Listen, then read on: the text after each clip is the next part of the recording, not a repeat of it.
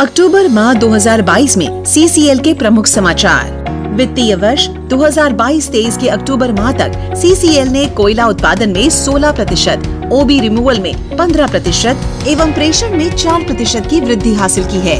दिनांक 1 अक्टूबर को सीसीएल में पहली बार एनसीडीसी स्थापना दिवस धूमधाम से मनाया गया।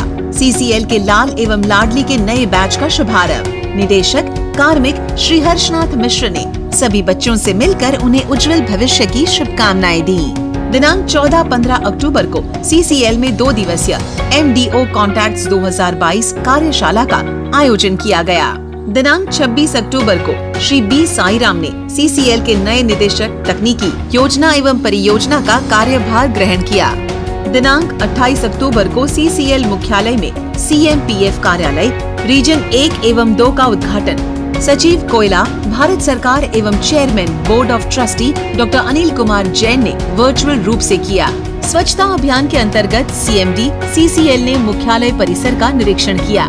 इस अभियान के तहत स्क्रैप को हटाकर सीसीएल ने चार करोड़ चार लाख सत्रह हज़ार रूपए की राजस्व प्राप्त की।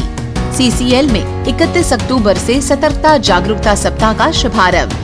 सरदार पटेल की जयंती पर पुष्पांजलि अर्पित कर सभी ने एकता और सुरक्षा की शपथ ली। इस कड़ी की सीसीएल समाचार में इतना ही।